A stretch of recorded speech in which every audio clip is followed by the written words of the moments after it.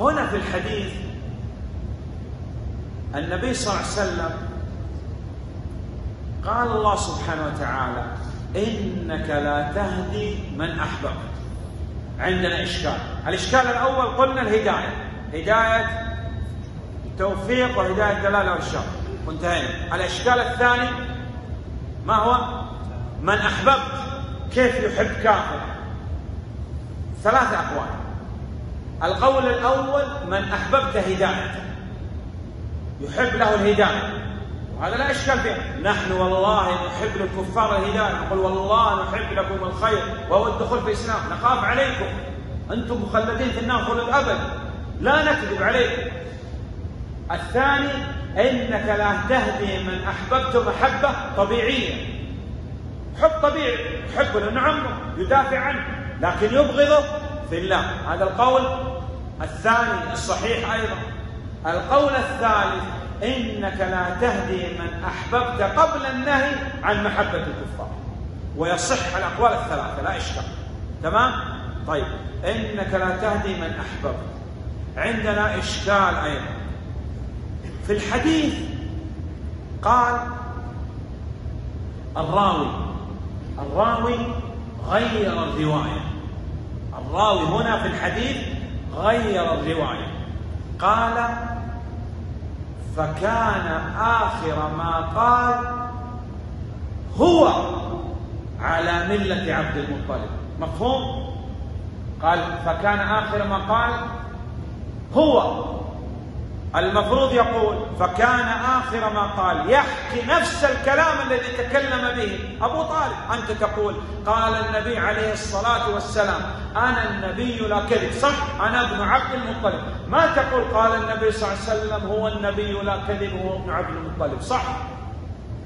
لماذا الراوي هنا؟ غير. الراوي هنا قال فكان آخر ما قال هو.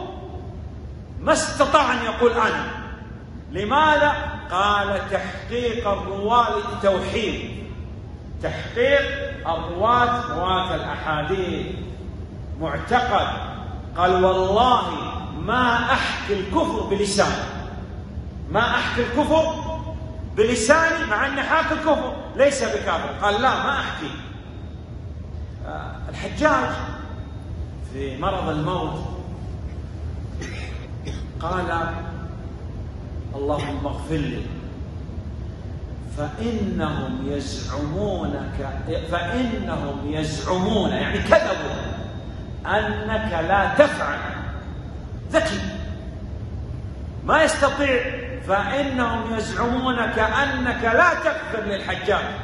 يعيد هذا على نفسه. ما استطاع. مفهوم؟ أي نعم.